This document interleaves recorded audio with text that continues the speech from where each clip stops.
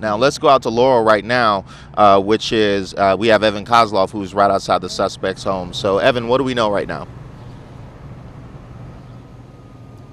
Well, honestly, we'll never understand why somebody does something like this. We just have to accept that. But we could try to get a better picture of what was at least going on in his head.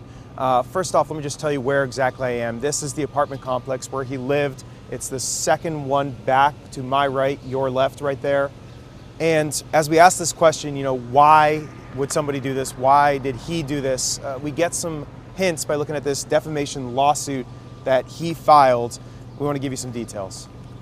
This is Jarrod Ramos, arrested for the horrific shooting. And to find out why he did all this, detectives have been combing through his Laurel home, searching his computers and his social media. And that's key because that's how the suspect is connected with the newspaper. It all comes together in this defamation suit filed in a Maryland court. The documents show that the suspect stalked a high school classmate on Facebook, messaging the woman, quote, have another drink and go hang yourself. Don't contact you again. I don't give an expletive. He pleaded guilty to all of this. When he went to court, the paper covered the case. They wrote an article with the title, Jarrod Wants to Be Your Friend. But the suspect read the article and then said it was false, filing a lawsuit against them. The judge looked it over and disagreed, at one point saying there's not one piece of evidence, and, quote, a lawyer would almost certainly have told him not to proceed with this case.